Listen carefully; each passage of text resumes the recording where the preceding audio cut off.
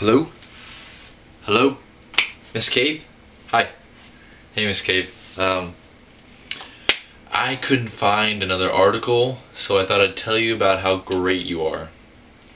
Um, this whole year has kind of been a big whole experience for me. Like, good and bad things have happened, mainly not a lot of good. Um, but a lot of the time I would go to government and I would, I'd sort of I sort of in class I expect to not learn something for the whole year, but I have. I really have. Um, if I could take your final, I would show you that economics is difficult.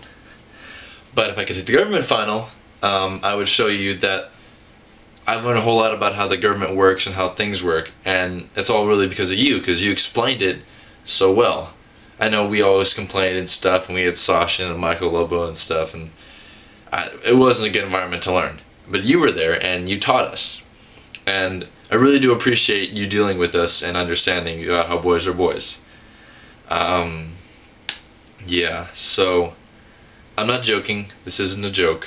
Um, I'm sorry I couldn't find an article, but at least now you know how great you are. I'll find you a sweet tea if I can, but I'm gonna quit Sonic soon, so kind of off.